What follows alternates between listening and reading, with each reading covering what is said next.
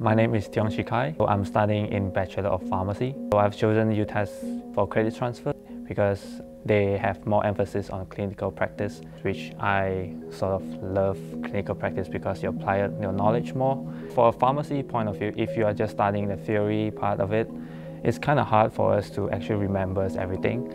And when you go out to placements and to go to a real practice, you face a real case, real patient, real pharmacist, and you apply knowledge and you remember for your whole life. Last year I've completed um, my placement in hospital which is in Burnie, Northwest Regional of Tasmania.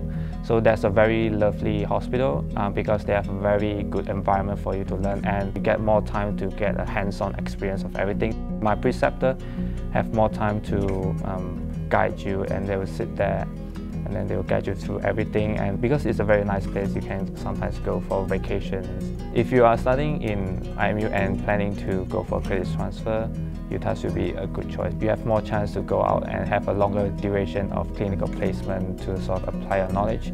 And in uni, you have um, friends from different countries and you can sort of learn their different cultures. The lecturers are very helpful consistently for us and they are very kind, very dedicated. They always reply our email very fast and also you can have um, appointment with them, they can come down to you and sort of uh, solve your problem. Yeah, so when you come here, I know that this is a small class, it's very nice. And the lecturers really remembers your name.